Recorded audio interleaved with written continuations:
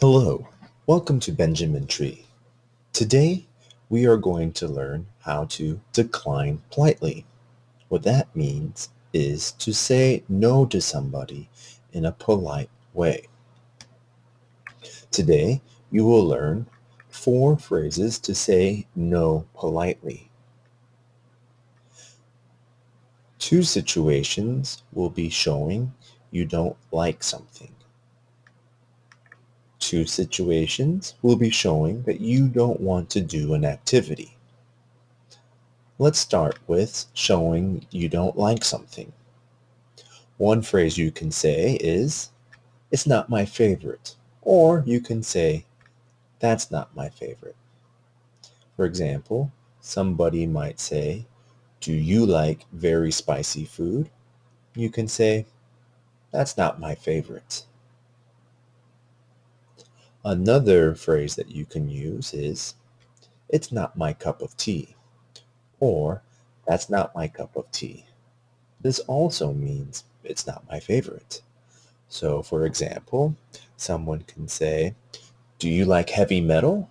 And you can say, it's not my cup of tea.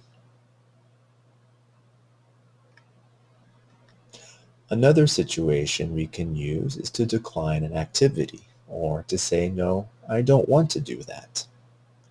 One example is to say, I think I'll have to pass. So someone can say, hey, do you want to go see a movie? You can say, I think I'll have to pass.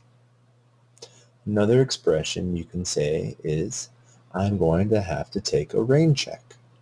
A rain check is a ticket you get in case something is canceled by rain and you can go there again later.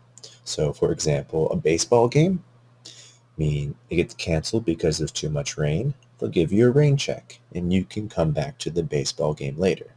So if someone says, hey, do you want to go to the bar tonight?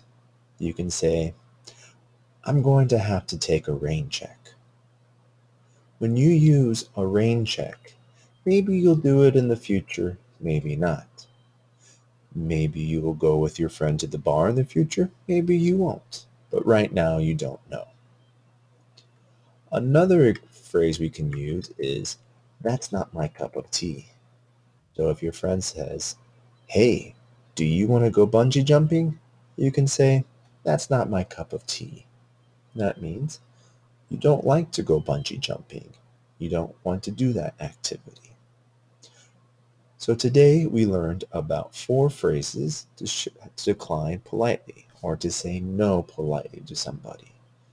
If we want to show that we don't like something, we can say, that's not my favorite or it's not my cup of tea. If we don't want to do an activity, we can say, I think I'll have to pass, or I'm going to have to take a rain check. I hope you learned a lot today at Benjamin Tree, and you can practice the discussion questions with a speaking partner in the link on the blog.